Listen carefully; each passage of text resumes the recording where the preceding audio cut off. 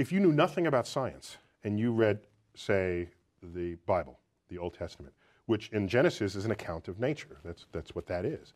And I said to you, give me your description of the natural world based only on this.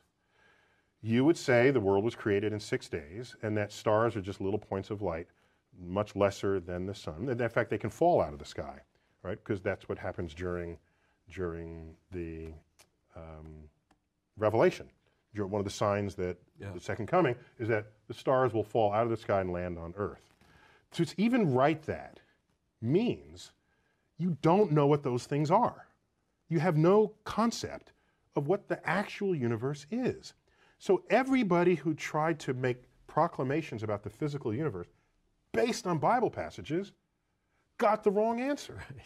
So what happened was when science discovers things and you want to stay religious or you want to continue to believe that the Bible is, is unerring, what you would do is you would say, well, let me go back to the Bible and reinterpret it.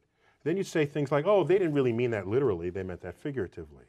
So this whole sort of reinterpretation of the fig- how figurative the poetic passages of the Bible are came after science showed that this is not how things unfolded.